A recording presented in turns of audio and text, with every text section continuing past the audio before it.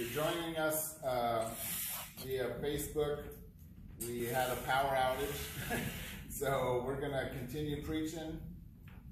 And we have this little light, and Jesus is our light. So, Amen. Lord, we just uh, honor you through all this. Yes, You're in control. Amen. So continue just be with us, anoint and speak through me, and minister, and let your word go forth and accomplish all that you desire.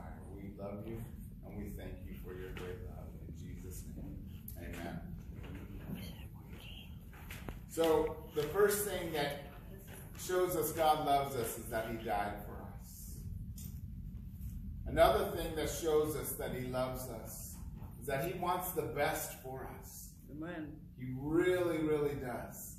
In Jeremiah 29, verses 11 through 13, it says, For I know the plans I have for you, declares the Lord. Plans to prosper you and not to harm you. Plans to give you a hope and a future. Then you will call upon me and come and pray to me, and I will listen to you. You will seek me and find me when you seek me with all your heart. You know, we, we either believe that or not, right? Say, God wants what's best for you in your life. He really does. And in every person, He has a plan for you. Amen. If we follow that plan in our life, our life is going to be blessed. Yes. Now, it doesn't mean that it's going to be perfect and without troubles and, you know, all that kind of stuff. That's not what it's talking about. But it will be blessed because you're going to be in the center of God's will. Yes. But how do we walk in what's best for us? How do we walk in what God has for us? Number one, he tells us here in verse 13, you will seek me and find me when you seek me with all your heart. Yeah. With all your heart, that you're seeking God, that you are spending time with God. Amen. You know, I was just talking to someone earlier today that, you know, we everything that you do is about being with God.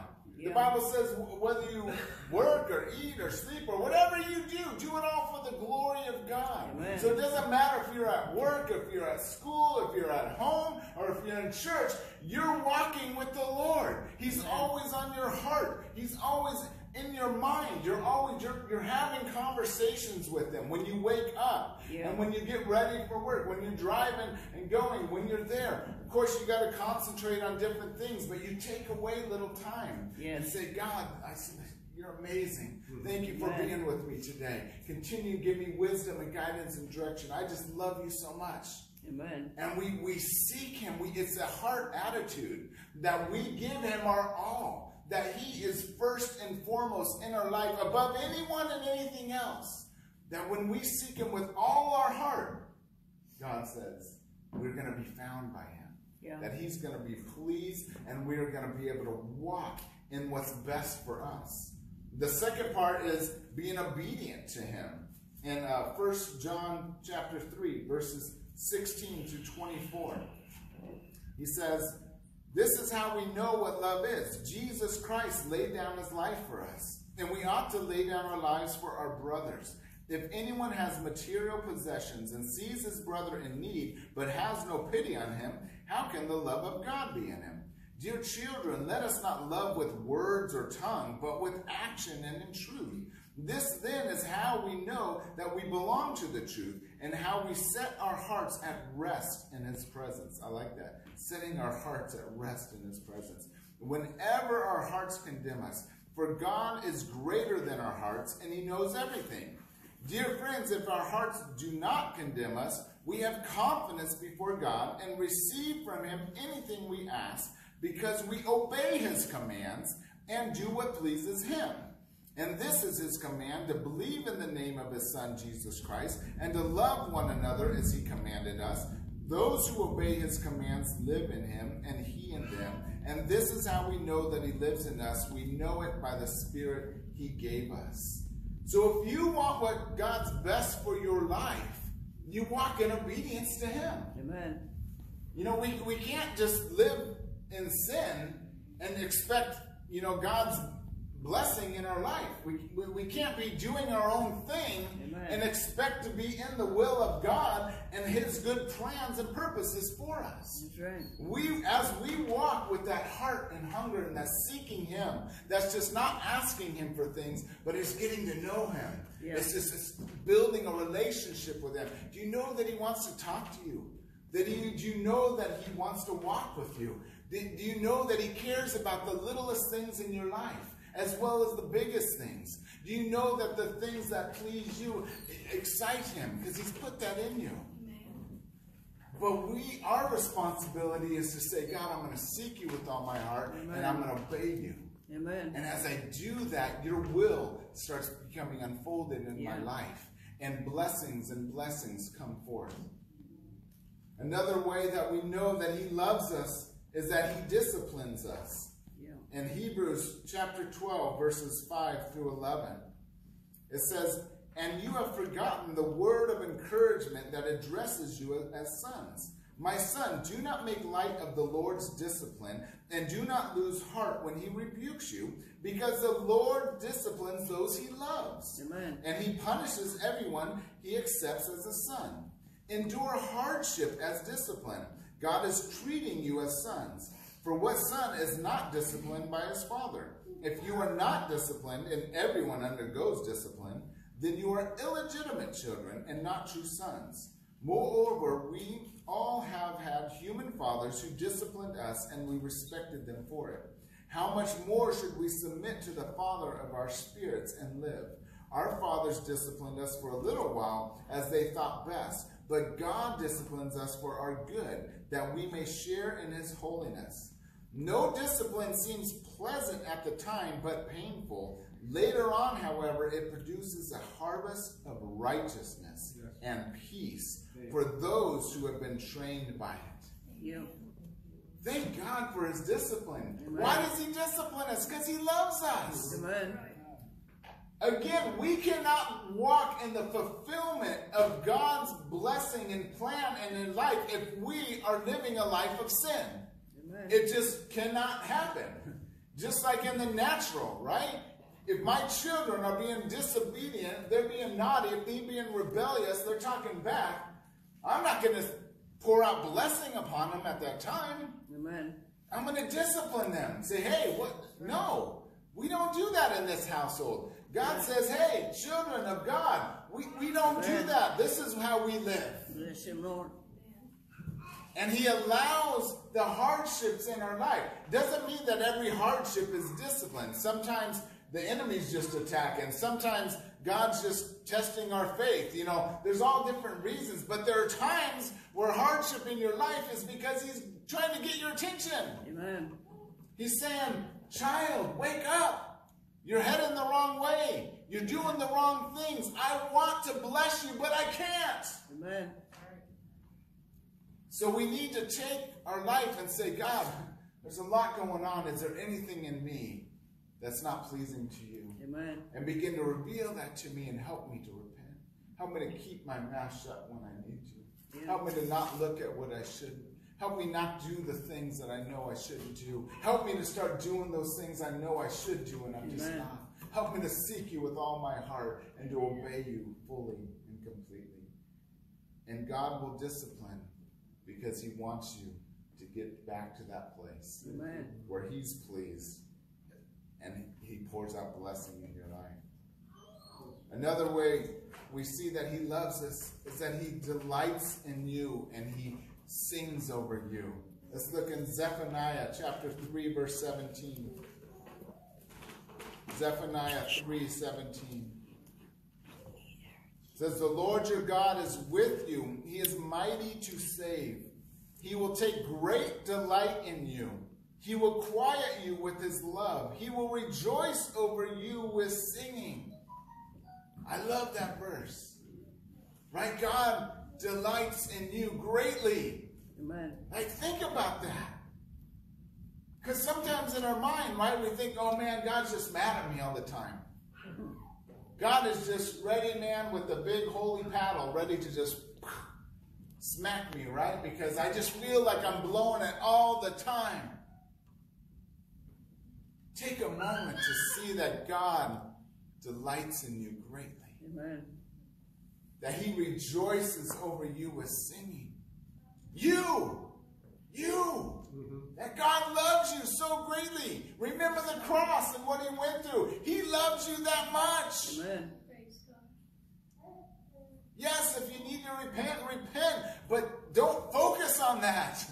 God doesn't. He says, I remember your sins no more. Why do you keep bringing it up? Amen. He says, focus on me. D- Don't even try focusing on not sinning. Just focus on me. Yeah. The rest will come with it. I delight in you. Take God's heart is take delight in him. Take delight in him back. Rejoice over him with singing. Because God's love is so great. If in your mind you cannot comprehend that he delights in you, ask God to renew your mind with the truth. Read this verse over and over and say, Holy Spirit, let it sink into me that you take great. He doesn't even say just delight. He says, I take great delight in you. Amen. And that he rejoices over you. Let that just permeate your heart and mind. Just we have to change our thinking that God is not this, this God that's just ready to zap us at any moment. Amen. And into the thinking of God is a holy God, but he's a loving God that wants to hold you in his arms Yes. and wants you to have the best life possible in him, doing it his way. And he delights in you. Take time to delight in him. And then Deuteronomy 32:10 says, He shielded him and cared for him. He guarded him um, as the apple of his eye. Zechariah 2:8 says, Whoever touches you touches the apple of his eye. And Psalm 17:8 says, Keep me as the apple of your eye. Hide me in the shadow of your wings. Yes. What does it mean, the apple of your eye? That means the most treasured possession. The, the, the one, the thing that he loves the most. See, for God, remember, God is not like us. Like for us, we may have one or a few people as the apple of our eye, like the things that we just love the most above anything and everything. But with God, God is love. And every single person he loves at the same time Yeah. as the apple of his eye. Amen. That you, right now, sitting here, he's thinking of you. There's never a moment he's not thinking about you. There's never a moment that he doesn't care for you. There's never a moment that he has left you. There's never a moment that you are not the apple of his eye, the most prized possession, the most thing that he loves. That's just who he is. And we need to stop and let the lights fall and just take a moment to just say, God, thank you for your great love. Thank you that you could love me enough to die on a cross Amen. and go through all that you went through for me. Yes. Thank you that you love me enough that you, you've already laid out good plans for me. Yes. You've already laid out the best life that I could possibly have as long as I seek you with all my heart and as long as I obey you. Yeah. God, you love me so much that you delight in me. That Lord God, just throughout the day, I, I just want to share this. You know, just just the other day, the Lord, you know, uh, as pastor, you you you carry all this stuff all the time. You're, you're constantly praying for people. You're constantly thinking, okay, what do we do, and all the decisions you got to make, and all the things you have to do behind the scenes, and you got a family, and you're you got to do what's best for your family. You have all this stuff that's constantly going, and and and you know it can be overwhelming at times. And the other day, the Lord's like, "Give it all to me. That's right. Let it go." Yeah. And He said, "I'll have a day that you just do nothing but just what you want. Just have fun." Really? I love you. Yes.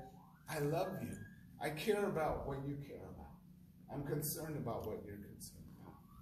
Yes, there's days where you need to pray and you need to fast and you need to fight and you need to warfare and you need to do all this stuff, but there's days you just need to play and relax and enjoy.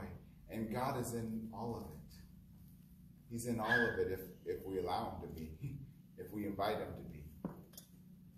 But enjoy your God because He takes delight in you. Amen. He knows what pleases you. He knows what dislikes you have. And He rejoices over you with singing. And remember that you are the apple of His eye, that you are His, the thing that He cares about the most. All of us are in that same category, that He cares about you and loves you more than you can imagine or dream. So the next time you doubt God's love, the next time the enemy puts in lies that you're not good enough, you're not worthy enough, God has forgotten you, God has left you, God doesn't care, you remember Amen. the great love of God. God, we thank you for today. And lights or no lights, you are here with us. Amen. And you love us. And you love everybody at home watching God. And I just ask that you would pour out your love in a greater measure.